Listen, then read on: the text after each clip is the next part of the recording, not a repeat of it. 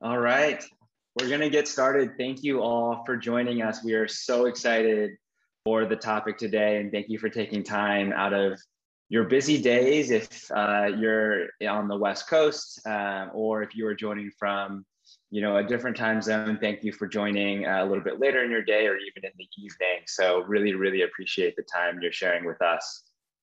Um, the topic that we're getting into today uh, is something that we've been planning for a number of months now, and it's this idea of the complicated relationship between customer success and the product. And so, a lot of conversations have been had around customer success and working with product teams, but today we're going to dive into that relationship with the product itself, which we're super excited to, to dig into. Um, Grace, if we could move to the next slide. So uh, this meetup is, is presented and hosted um, by myself, Janan, Grace, and John, who couldn't be here with us today. He's on PTO, uh, well-deserved time off. Um, so we're super excited to, to bring this to you. One thing before we get into the panel itself, um, just a quick, uh, some logistics around Zoom for those that haven't joined us before and for those that haven't used Zoom before, I'm sure there are not too many left out there, but um, please, as a reminder, stay on mute as we go through the panel. Um, use the chat to engage in the discussion. And then we have a Slido link that we will be sharing in the Zoom chat. Please use that to submit your questions. We will be saving some time at the end for open audience Q&A. I know that's everybody's favorite part. Um, and actually one thing before I forget, um, one thing that we always love to do as part of these meetups that's a little bit harder now that we're, we're virtual is um, you know connecting those that are looking to find jobs in customer success to those that are hiring. And so one thing it, that i'd like to ask is if you are working in a company that is hiring for customer success roles please share uh, you know those job postings in the zoom chat and then also this, we have um, set up a sponsorship or a partnership with Gain, Grow, Retain. So we are super, super excited for that. Um, please post your jobs onto Gain, Grow, Retain's uh, job board that they just launched recently. So with that, um, this wouldn't be possible without the partnership with Gain, Grow, Retain. So I'm gonna hand it over to Jeff, who's gonna tell us a little bit more about Gain, Grow, Retain. Awesome, thanks, Janan. Uh, yeah, so if anybody's interested, we've got an open and free community that we started uh, last year. Uh, so gaingrowretain.com. We have a ton of discussion threads, kind of your traditional uh, forum community. And so there's uh, a ton of stuff happening. I think we've got 5,200 members. So it's pretty active, pretty consistent. Uh, we do weekly office hours calls on Tuesdays for CSMs, Thursdays for leaders. Um, so feel free to join one of those. We've got a podcast that we have going. Um, so really all of it's open and free to the community, trying to, to push things forward. Um, we'd love to partner with San Francisco Customer Success Meetup um, to help you know put on some of these events, uh, knowing that it's all virtual. Hopefully, one day we'll be uh, we'll be back in person doing this in San Francisco in somebody's awesome office. I uh, would love to, to be out there for when that happens. But um, please feel free to come join the community and, and hop in wherever you can. Uh, we're always looking for people to uh, come participate and engage. So uh, feel free to do so and appreciate you all giving us opportunity to help and excited to hear today's panel. All right, we'll hand it over to you, Grace. Hi, um, I'm so excited to welcome this group of customer success leaders today. We have Steven, who's the head of customer experience at Miro. We have Amara, regional manager of customer success at Okta, and also Cindy, product manager at KeepTruckin. So I'm just gonna start with um, digging into everyone's background a little bit. Uh, starting with Steven. Steven, you have experience in several roles that focus on different parts of the customer journey, including account management, solutions architect, customer success, and now customer experience. What are some highlights um, you'd like to share with us in terms of your career progression? Yeah, thanks for the question. Uh, it's a very personal one. Yeah, I started more on the technical side, uh, but I've just been following what the opportunity and what my uh, interests were um, right? So starting from a from a technical role and seeing what the potential impact could be on customers, um, and that's how I ended up in customer success. And by the way, for everybody joining uh, customer experience at Miro is the customer success department. So it includes customer success management, uh, support, technical support, renewals, and, uh, and, a couple of other functions. So just to, to clarify that. Awesome. Um, thanks, Steven. It's um, helpful to kind of hear you articulate the different functions, um, starting from technical and also like different definitions to how customer experience um, embodies customer success as well. Um, and now on to Amara. Amara, you um, I saw started kind of as an account executive, transitioning into customer success and also leadership roles over time. Could you tell us a little bit more about your journey into leadership? Yeah. Um, so I started off in uh, my career in sales and software sales. I worked at Oracle for about five years. Um, started off selling our uh, HR product suite. And I think for me, the moment where I decided, you know, I really wanted to be more in customer success was, you know, I, I sold a deal in higher ed, which is a very, as many of us know, is a fairly difficult uh, vertical, very lots of rigid policies and processes. And when their CHRO came out to take her daughter to orientation week at Berkeley, she reached out to me and she's like, Can you give us a tour of the Oracle campus? And we actually took a selfie together in front of Larry Ellison's pond, her and her daughter. And like for me, that was the moment I was like, more about the relationship than just closing the deal. And so when there was an opportunity that presented itself to grow a, um, a CSM org for a more recent acquisition, I took that um, and then found my way to Okta, which has been amazing, and was recently promoted to managing a team of amazing CSMs in the Bay Area. Awesome. Um, I love the call out on being opportunistic um, for these moments that really can advance your career. Um, finally, we have uh, Cindy. Um, you spent some time as a CSM and then you progressed into your current role actually as a product manager. So, could you share a little more about what brought you closer towards working directly with the product over time?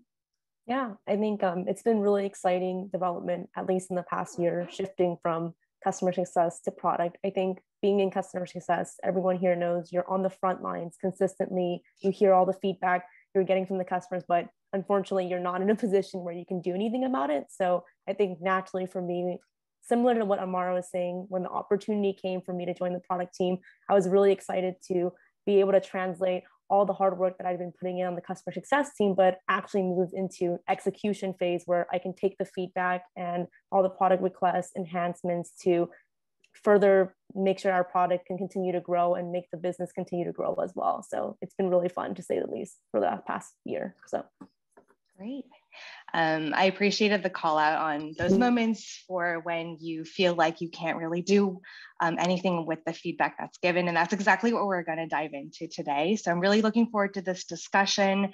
This is a topic I've personally reflected on quite a bit, just this complex relationship between our role as trusted advisors for the customer, um, but also balancing that of defending the product when it comes down to it. So um, as we all know, customer success is all about helping our customers achieve their definition of success with our product. So let's start by exploring what kind of relationship we need to have with our customers to make that happen at a very high level. Um, what would you say are the attitudes that are most important for your customers to have about your company?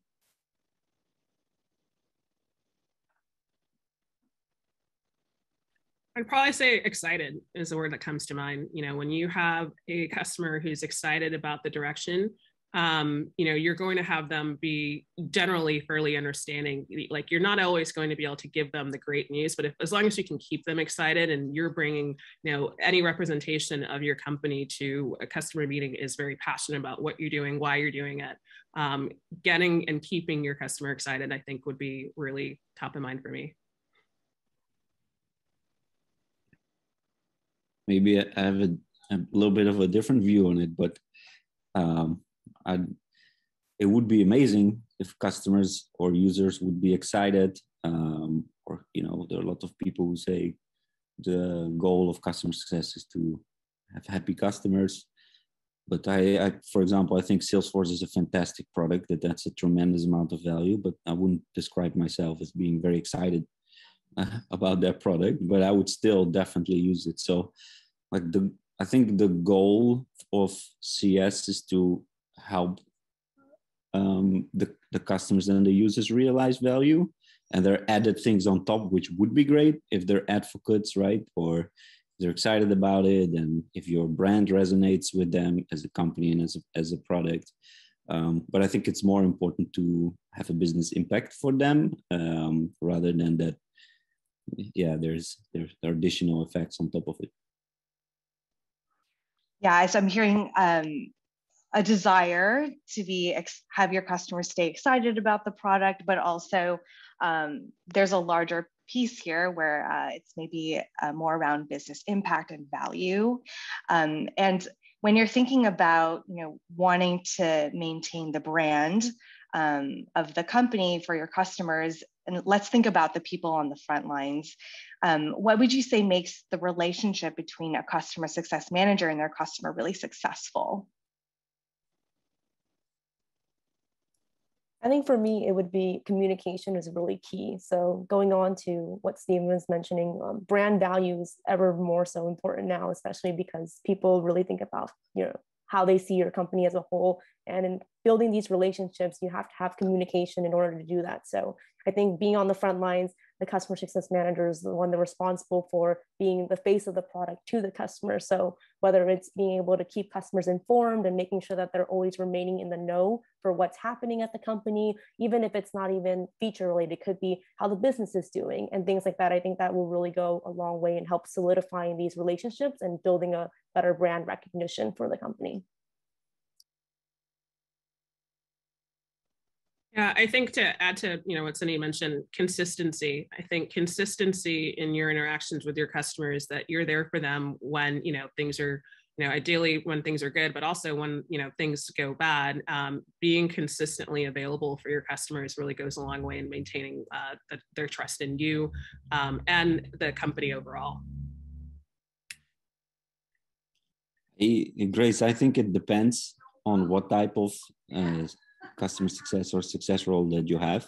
Because many companies now as they're scaling right they have different grades and segments uh, of customers and the way that you interact with them and the time that you have for them is very different right? But it can still provide a lot of value to customers. So i, I think every customer would like to get the same type of value or impact from the product. That's the reason why they buy and they're they're using it. Uh, but the way that customers can it can impact that will be different. So if you're you know very well or like super big enterprise uh, company with like uh, uh, multi-million dollar deals you probably have dedicated very um, you know hopefully intimate relationships uh, with that customer knows their know their goals inside out know have are multi-threaded in the organization and you can really make a, a difference for your product there. But if you're in scaled success which i know many companies do today right it's like you need to like really make choices and prioritize which customers are in trouble or which customers have opportunity how do you go after that? You can't go as deep in the relationship. I think both can be valuable but they have different traits of like what is value to a customer and like how do you achieve that yeah, I, I actually really um, appreciate that call out. Even within customer success, of course, there are accounts that we choose to be more high touch with, and others that maybe require scaled servicing, and our interactions with those customers would probably look really different, even if the, the goal is the same. Um, so I think we can all agree that customer success, it, it certainly is a service, um, whether it's scaled or high touch and personal we're really trying to be consultants for the customers. But unlike other services professions, um, doctors, lawyers, teachers, um, half of the value behind our service is actually the product. So, like it or not, we are actually the face of the product to the customer most of the time. And um, as you know, we all know there's always good news and bad news that goes along with the job and what we need to share with the customer. So let's start with the good first. Um, can you describe some of the most enjoyable interactions that you have with customers?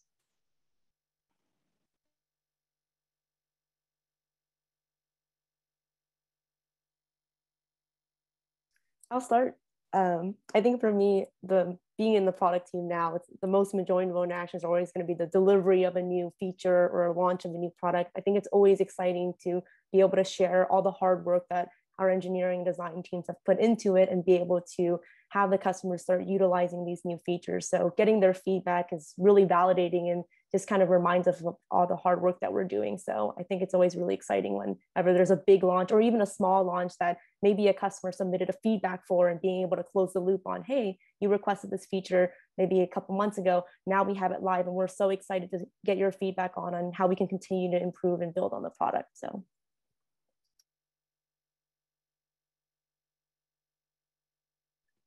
Uh, I think for me, it's it's probably two things. It's one, just that that the open discussion and the dialogue you can have with customers, even when they're complaining, the fact that they're you know they're opening up. I think you know I always when when CSMs ask about like customers that are talking about product feature requests that they've had for years and they're not super happy, you know, on the flip side, I'd much rather a customer share their frustrations and be talking with us and be entirely non-responsive at all because then we know nothing about them and we don't have any relationship there. Um, and then the other one, um, you know, Justin on my team we had a meeting just today and we had our champion show up wearing her Okta t-shirt. So getting to see your customers show up to these like Zoom meetings wearing their swag um, is definitely personally validating. Yeah, I I, I think Aman, uh, Amara is uh, spot on. Like there's a spectrum between how you, what type of relationship you can have with a customer and like a customer can be very complex with many different stakeholders, right? Like, let's just simplify it. On the one hand, it can be, uh, and there, there, there are companies that just run that way, where it's a, a vendor customer relationship, and that's how they run it, right? Uh, on the other side of the spectrum, it can be real true partnership where you're building things together and you're exploring what the pain points are. You're seeing like, what can we build to actually, and sometimes you build stuff that will even blow up blow their mind that they haven't even thought about that's way better than what they're requesting right? So it's like a partnership between it and w- without a doubt the the partnership one is the much more enjoyable one. I personally find way yeah you're on the journey together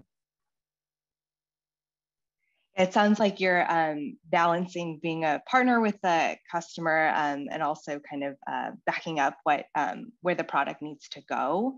Um, you kind of alluded this to this already, um, Amara. I appreciated that you shared that you just value having an open discussion, even if the customer is complaining about the product. Um, when you're having these hard conversations, what does that typically look like, and what are your strategies for navigating that? Yeah, um, I think first and foremost, like actively listening, you know, actively listening, giving your customer the, you know, their voice, to, especially when you're just beginning a meeting, um, making sure that they feel like they, that the vendor truly understands this, their situation they're in, their impact to their business, um, and then empathizing with them you know like again like you may not have the solution that will get them out of the particular situation that they need or have any particular timeline for when you can deliver this for them but just being able to empathize with them and to show them that you are you know listening directly to them recapping what they said is the issue i think can go a long way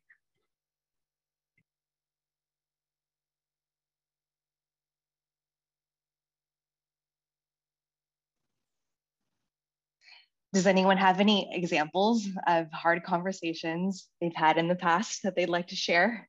Yeah, I can take this one. I think um, a lot of folks can resonate, but especially now that I'm on the product team as well, um, saying no when a customer requests something, um, especially when they're trying to solve a pain point, it can be an incredibly difficult conversation, especially if this customer is coming with a problem that they've been struggling with for a long time. And I think what's really important is that when you're having this difficult conversation of, all right, I have this customer with a problem, they have a feature request, I know the product team or the engineering team is not going to be able to work on it. How can I relay this back to the customer in a way that's not going to hurt my relationship with them or constrain them so that they don't become a churn risk? And I think being in customer success, we have a really unique opportunity where we can be very transparent with our customers. And I think it's sometimes taking the time to really walk them through why we're not saying no, but it can be a matter of we can't work on this now because here are some other projects that we're working on. And I'm happy to walk you through the product roadmap to get you excited for other features that might also be of value to you. So you can understand why,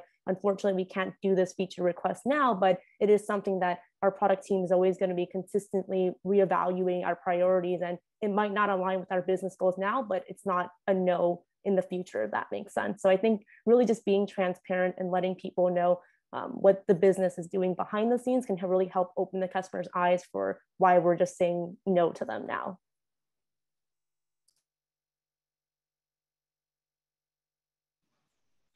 I think the the the hardest the conversations are if you need to back up on any commitments that you made before, um, which can be the case even you know if you try to estimate it as best as possible and put the protection around it, but like that can happen, and in that in that situation, I think it still goes the same. Be as transparent as you can, explain why it is the case.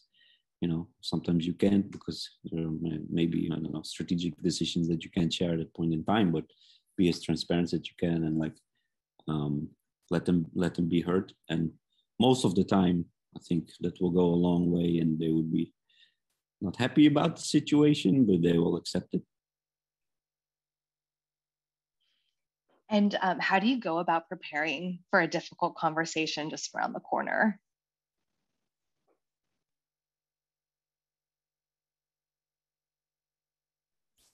Get as much information as possible and prepare your call.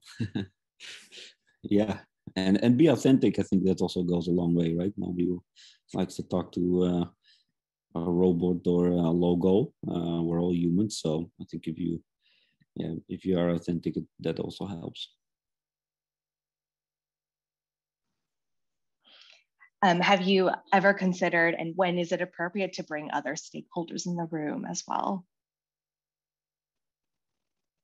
Maybe Cindy can answer this one because I think she gets pulled into a lot of requests now.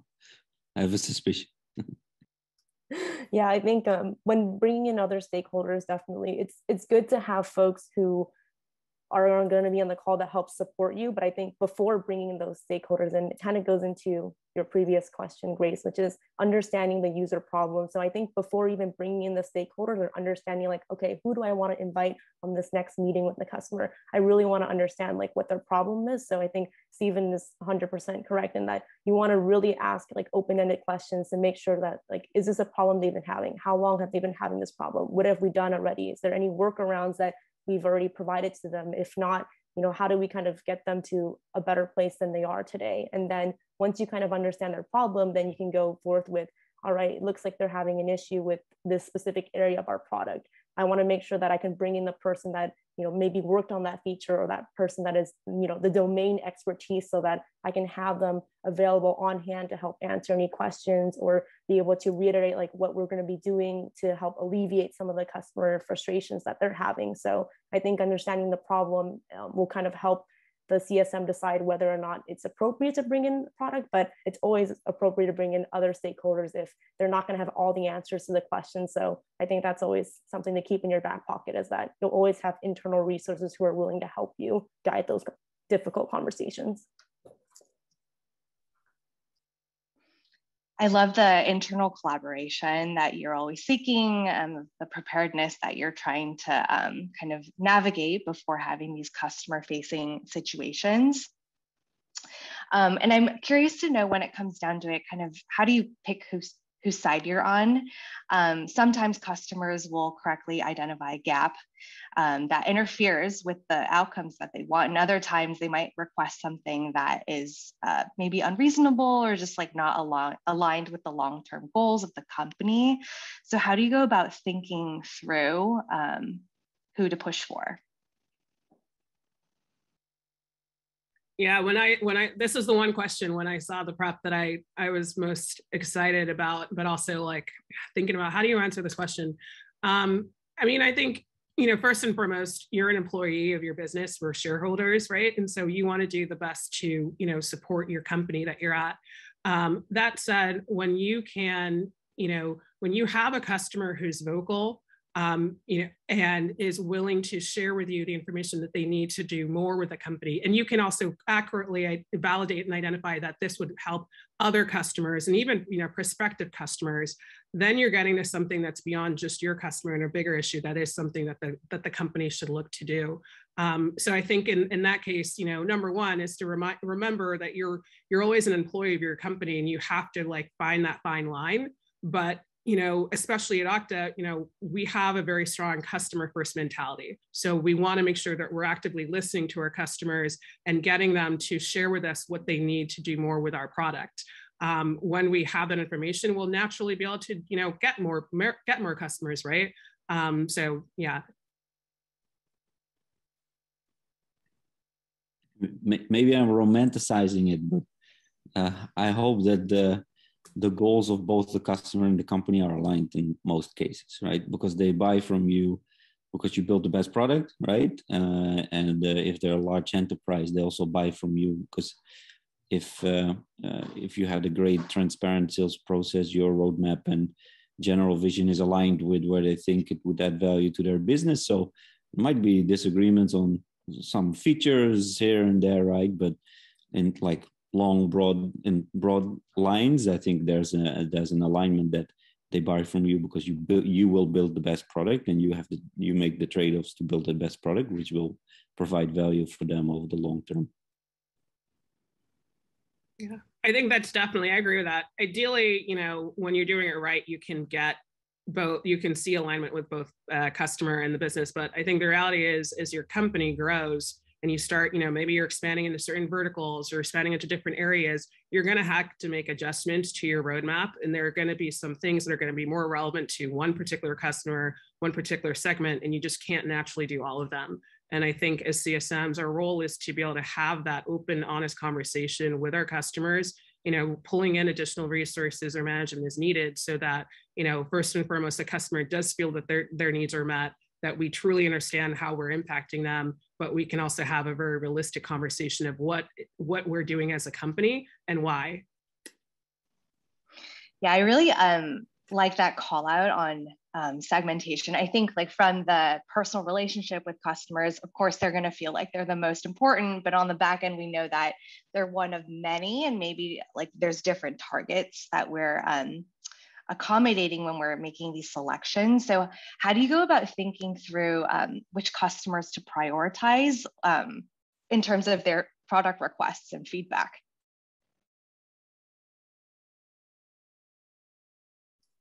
I think that's a that's a very difficult uh, exercise, and it's exactly why product managers being a product manager is such a difficult job uh, because you balance all of the factors, right? Customer requests, but if you only prioritize what customers are asking you, you might miss some big strategic uh, opportunities that uh, that you have in mind, right? So you need to balance all of those.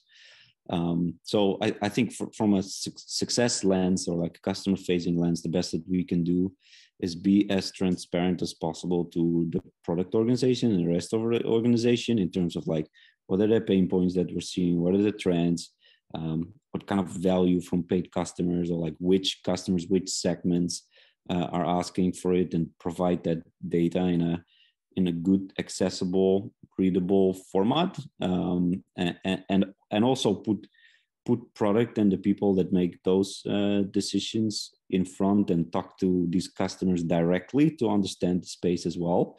Um, and then, yeah, uh, they they would have to make a difficult call.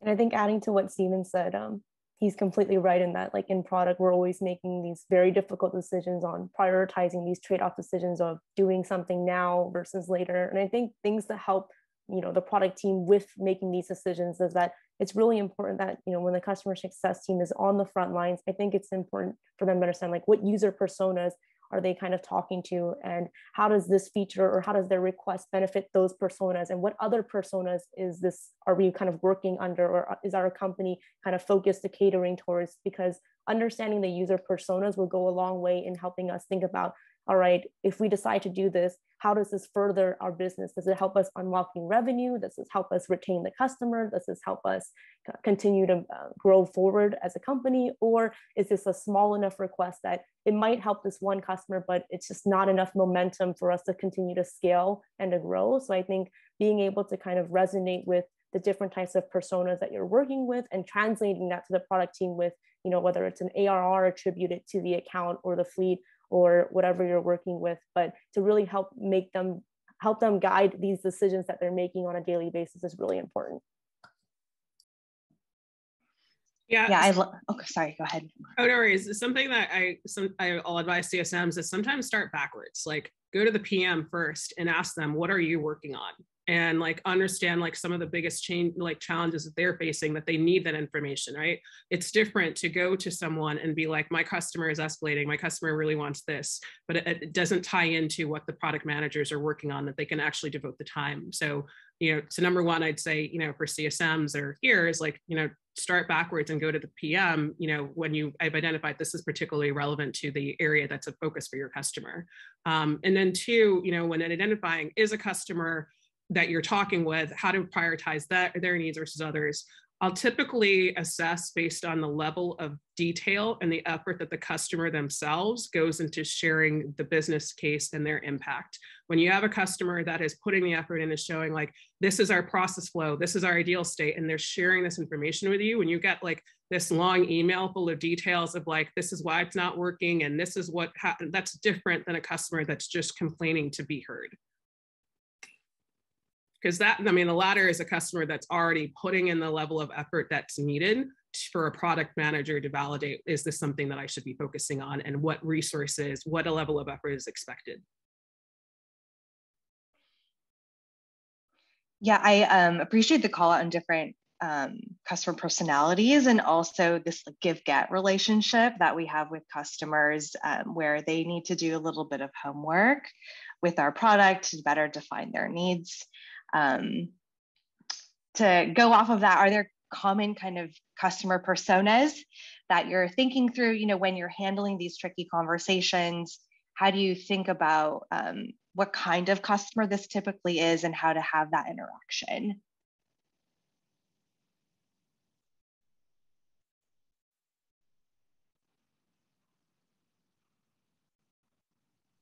You you mean a user or a customer that comes with feedback that they would like to have uh, prioritized? Yeah, exactly. Amara was sort of saying how some customers kind of dig in um, to do all the research to test things and other customers maybe they're just like complaining to feel heard are there other like inner common um, pers- personalities that you're interacting with uh, I think it really depends on your product and the industry that you're in, right? Like if you're more into B2C type product, then uh, you always need to have some combination of qualitative and quantitative feedback talking to customers. But um, would probably rely more on data uh, because there's more available in that sense, right? So I would like probably rely on that a lot. Um, and if you're in a true enterprise uh, company, it depends who you sell to, right? Maybe you're in cybersecurity and you sell to chief information officers and you know so and there are different levels of people that might use the product. So end users provide valuable feedback. I truly believe uh, in in such a product where there are a lot of end users their success will, is ultimately why the check gets signed. That's why they buy it right? But you you kind of need to look at it also more on a quantitative side to see. Is it a pattern. How many people are actually um, uh, being affected by it or would unlock value uh, like cindy mentioned by implementing this feature right? Compared to if you talk to executive sponsors on the customer side might just be a handful that you get to talk to right? So it's more difficult to get uh, patterns on. So i think it uh, it depends on the on the type of product market you're in and also like the different levels that you your product uh, might provide value and interact with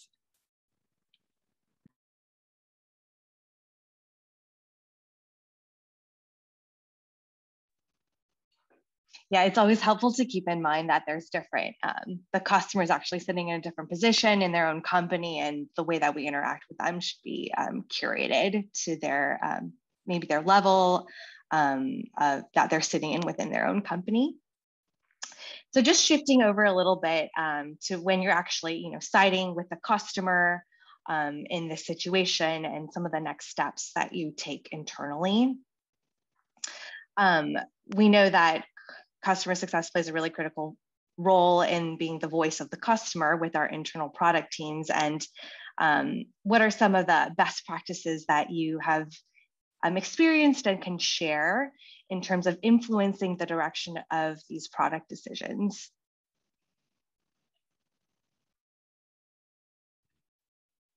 I can i'll share an example. Um, Okay, so when I started Okta, um, I was given three healthcare customers right at the same time. So one, I had to they, particular customers and verticals can have very specific needs for their industry, right? And there was one particular feature need that they wanted that Okta did not have that a competitor did for years. And so, you know, first I needed to, you know, understand uh, the specific need for them. I also, what helped in this situation is I was able to credentialize myself. You know, I was formerly pre-med in college. My mom's an anesthesiologist. So it's one thing when you're talking to a customer that has a particularly unique need to be able to just say like, hey, I get it. I understand why this is particularly important to you. Um, then you have to validate across other customers that this is also uh, something that's particularly important for them. So I had other healthcare customers saying the exact same thing. Um, and then you know look for internal champions as well like other internal stakeholders that particularly care about the particular issue or maybe the you know the segment of customer that you're working on. And so i reached out to um, uh, one of our leaders and i said hey i have the i have a situation here where i have all these healthcare customers like who's focusing on healthcare? And he pointed me in this one direction. And so we had a, one of our annual conferences, Oktane, where I got to meet with my customer. And then I also had this other, you know, this other individual meet with them as well. And we basically just did like a full on interview where we listened to them talk through their use case. And, you know, we went back to our team internally, multiple different stakeholders, um, and now that we have the right level of intel, this is something that's truly impactful, not just for this customer, but many other existing customers and prospective customers. We're able to do the next step, you know, number three, which is building that business case. So, you know, as you're going to build that business case, understand that the product team is going to want to see, you know, what's really the true cost benefit of doing this now, right? Being able to quantify, um, you know, is this something that we can either do with our product today? Is this something that we want to pursue with a partner? Is this something that we want to, you know, is this even product related? In this particular case, it was a, com- a combination of product and a compliance attestation that we needed to achieve. And so really having a full grasp of all the different, you know, things that are involved um, understanding again like what the overall cost would be not just in terms of you know money but resources who um, was able to, we were able to successfully build a business case for them. And then we, we were able to deliver this feature.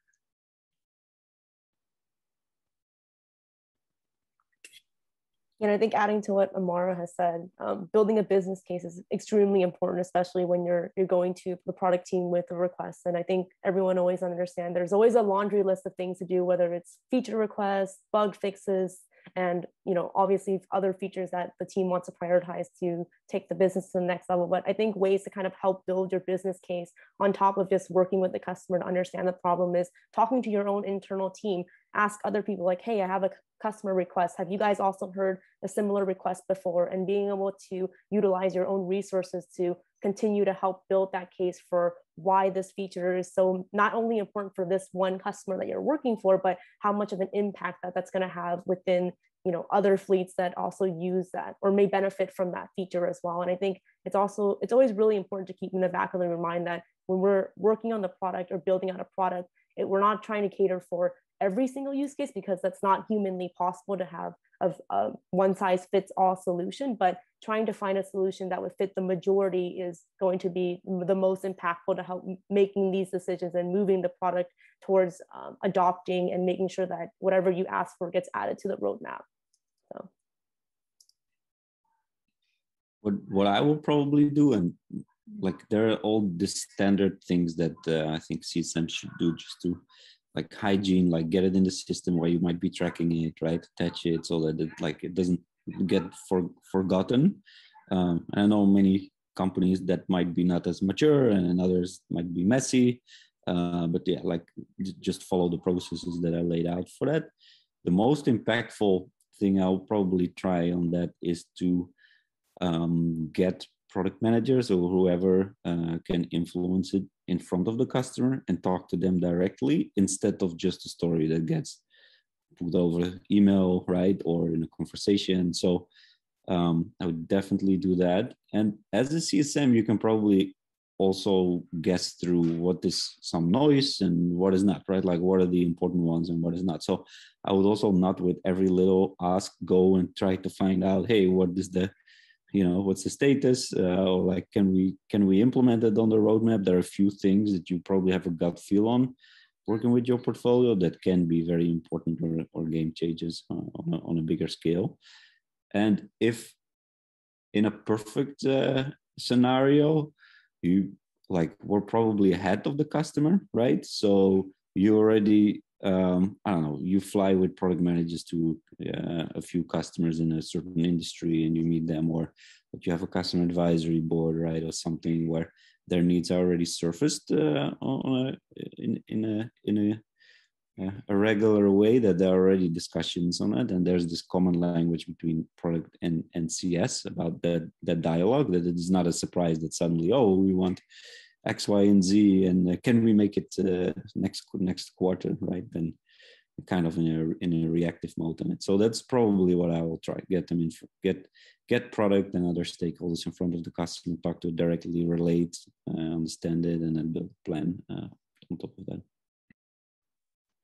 I'd love to dig in a little bit into that phrase of getting rid of the noise or just cutting through the noise. Is uh, there's a lot of requests that probably come our way. Um, have you had conversations with customers where you know it's not on the roadmap, it's not going to be on the roadmap, and you personally don't think it should be on the roadmap? So it's sort of a, a hard no type of conversation. And what does that that looked like? Yeah, so I KeepTruckin. Um, part of our product really focuses on compliance and making sure that when our users are using our products, they can remain in compliance and don't get in trouble with the law or anything like that. So many times uh, people will try to come with a feature request that we simply can't do. And I think it's just being transparent and hey, it's not that we don't want to build this feature because uh, we know it's going to be helpful for you, but we really can't do this because of, you know, this, there's a legal and regulatory component that prevents us from doing so. And even going as far as like, here's, you know, the, the regulation that states why we can't do this and sharing that to people and then letting them go, oh, I didn't know about that regulation or, oh, I didn't know that you couldn't do this because of this reason kind of really helps uh, stamp and provide more uh, depth to the conversation and letting them know like why something isn't possible to do. I think it's a sign of respect if you know that's already the case, right? It's not going to be on their decision. Just be transparent about it, and they can make uh, decisions. Uh, what what they're going to do as a plan B potentially, right? But I'm personally not the fan of just keeping customers lingering and saying, "Yeah, we're thinking about it," and like, well, you know that it's it's not going to happen in a reasonable, you know, amount of time. Yeah, I'd echo that 100%. I think especially, you know, when you have something that is escalated to, you know, the executives of your customers, the executives just want to know definitively like is this going to be prioritized or not? You know if you can't get them any t- like clarification on the timeline it's just better to say it's not prioritized right now and and give them that time and opportunity to either you know build something themselves or look for something else until it is. Um, but meanwhile you know always you know trying to highlight the positive reminding them the successes that they're experiencing to date, looking for some quick wins that are going to be prioritized in the near term, I think can go a long way to not just getting a customer to feel like, you know, they're, we're not listening to them, we're not, you know, we're not delivering things that they need. Yeah, on, on the other end, Grace, because you said you said this is about something that you know for sure is not gonna happen, right? But there are a lot of cases where I think there might be um, like projects to investigate certain areas, right? Or like there's no decision made, you're going to invest in it or not. And I think you can be transparent around that as well. There might not be a timeline, right? But I'm sure that there are a lot of product managers that are then very interested talking to customers to have their needs. But then it is quite tricky and it is uh, um, important for the CSM and the rest of the account team uh, to set expectations and say like, oh, this is exploratory, because I've also seen that they just take that as a as an input, like, oh, they're talking to us and they're gonna build exactly what we are asking for, right? So you need to set the stage and have to have to yeah clarify that uh, a few few times. I love um, kind of wrapping up the panel discussion on that note um, just to be really empathetic with all the customer feedback, just because it's not on the roadmap for the foreseeable future. Maybe it's worth further investigating for sure. Um, I would love to kind of transition into the Slido questions in the audience. If you didn't get a chance to go ahead and upvote um, the questions that you'd like to surface to the panel. And um, I'll just um, pull out some questions from here.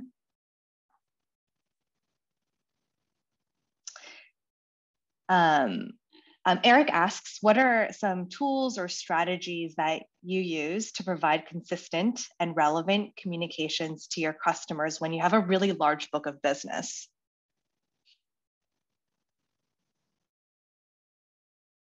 I think when I was a CSM managing a large book of business, it would be really helpful to utilize like templates in Gmail or Salesforce or whatever integrations that you have. And um, especially when you're trying to reach a large volume of people, having these templates for you know announcing a new feature release or giving them an update on the business will be really helpful because you can just plug in the template once, select the people you want to send it to, fire it off at the time that you want, and then you have all these touch points that you've now um, made with without having to do much work of manually going towards each individual book of business you have and trying to reach out to them. So I think utilizing like shortcuts like that in Gmail or whatever MailChimp that you use today would be really helpful in helping reach a large audience.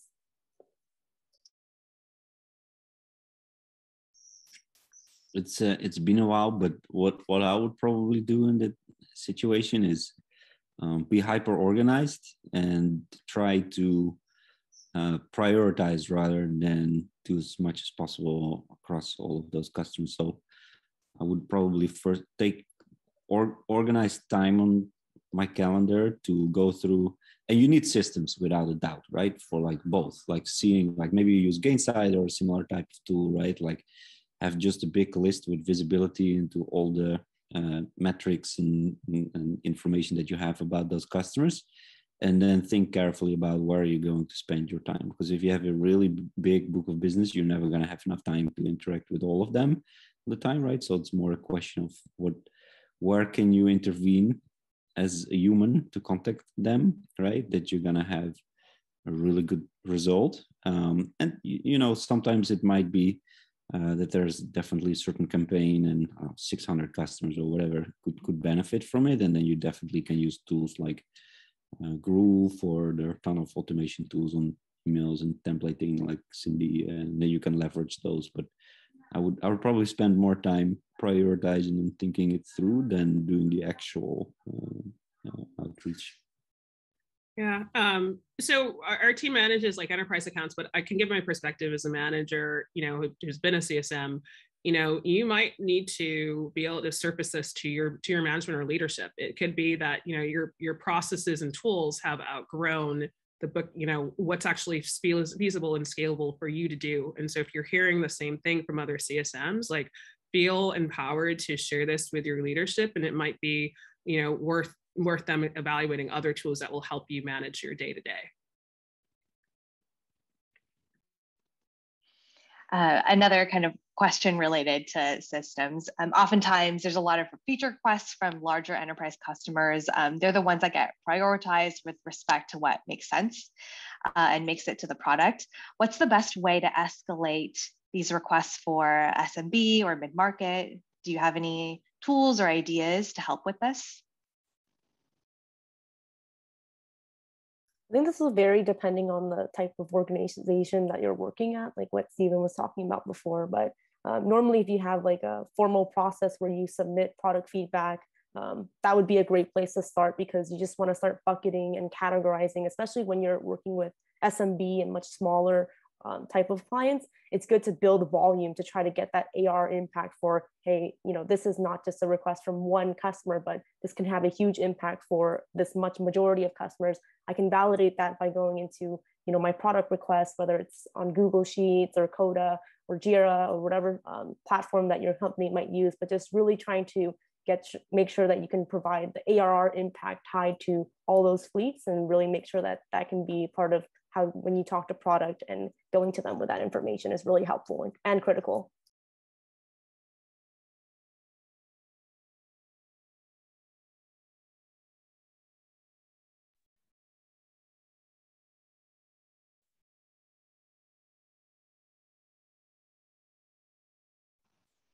Other thoughts, Steven or Amara, or I can move on to the next question. I, I think I think uh, Cindy Cindy covered it right, and I don't. It depends on the company if there are big customers uh, that dictate feature requests, right? Like it can be company strategy or not. It doesn't have to be that way, right? So uh, I think you, as a company, also need to decide like what what, what is our strategy do we uh, tailor just to these very large customers and are they extremely important for us to keep on board or do we build things that you know could could could benefit the smb as well so uh, kind of kind of depends the culture and decisions uh, of the company but uh, it doesn't have to be that way. And if it's more volume based like smb uh, uh, type customers it definitely comes back to what are the patterns and uh, um, you know can you make a can you make a case across multiple customers and the impact on the segment rather than individual customers um, yeah, that brings to mind um, Amara's whole point around building the momentum for feedback, uh, multiple customers, finding those internal champions. Maybe that's the best route for um, the smaller customer accounts. Um, another question, SCS, when you're caught in the middle between the customer and some product gaps that they're asking for, it can be very stressful. Do you have any tips on how not to take things personally or just get too stressed out?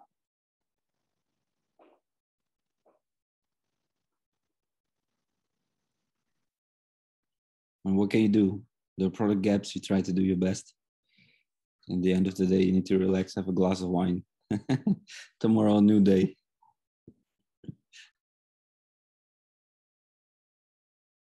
Yeah, I, would echo that. I mean, I think you'd have to just find a work-life balance that works for you, and you know, get suggestions from others, and just find out how they are staying kind of like afloat with things. Like, you know, whether it's just trying out new hobbies outside of work that will get you to, you know, because you'll also probably find yourself more invigorated for when you do have those tough situations.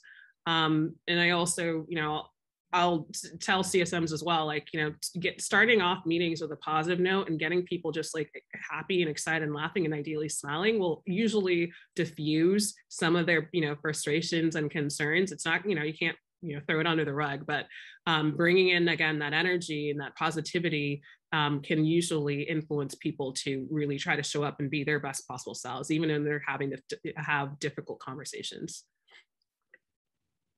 And I think echoing off of what Amara said, like being positive and always looking at, you know, what's to come and getting excited about, you know, maybe we're not doing something now and like I have no influence over this, but we're doing so much more amazing work and we have so much down the pipeline that will also continue to benefit our users and, and keeping that positive attitude is really critical to just, you know, having a positive work-life balance and everything that everybody else has touched on already. Awesome. Sounds like, you know, have a glass of wine and stay positive, kind of ask others how they're handling these situations. Sounds like the best way to go. I'm a big fan of getting some sun, go to the beach. Everyone will know like I can always be found in the sun and I'm happy. So if I have customers in sunny areas, doesn't matter what they're telling me, I'll still be happy. Love it. Um, with that, um, we have uh, kind of four minutes back for everyone to kind of resume their meetings. I wanted to give a big thank you for our panel today. Um, it's been so helpful digging into this topic with all of you. Um, and we hope you enjoy the rest of your day. Thank you. Have a great day or evening. Thanks, everyone.